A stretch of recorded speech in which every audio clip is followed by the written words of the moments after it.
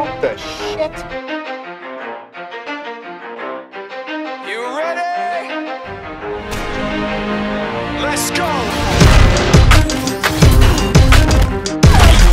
Yeah. For those of you that wanna know what we're all about, it's like this, y'all. This is 10% luck, 20% skill, 15% concentrated power of will,